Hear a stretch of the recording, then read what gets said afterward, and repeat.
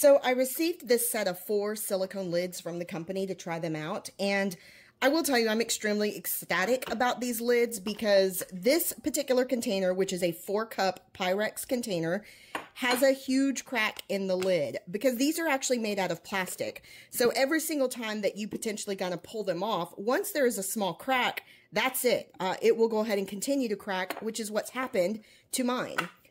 So they sent me these and they are made out of silicone.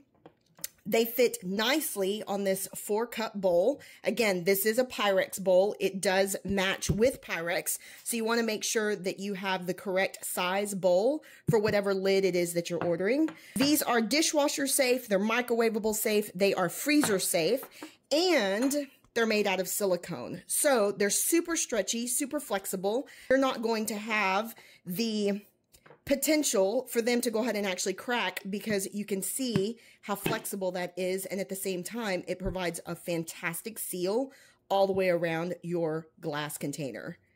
Overall, these are fantastic. I'm really glad that I got them. And if you felt the review was helpful, guys, I want you to hit that thumb below so other people will know to go ahead and watch this video. And you guys have a fantastic day.